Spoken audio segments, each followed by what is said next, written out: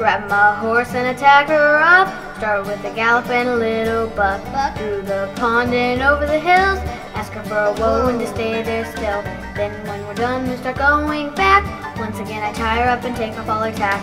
Then people walk up and ask why I'm alone. Say that I'm not, the barn is my home. Come on, I'm not alone, the barn's my home. And all I need is me and my horse in the heart and from the start. All I need is me and my horse together forever, we'll never be apart. When I'm feeling down and there's no one around, my horse is the only thing keeping me alive. Oh, I feel so alive. Everything around me so bright and green, I feel like I'm living in a perfect dream. Everything's the way I want, all I want to do. Everywhere I look, there's always something new. And all I need is me and my horse in the heart and from the start. All I need is me and my horse together forever, we'll never be apart.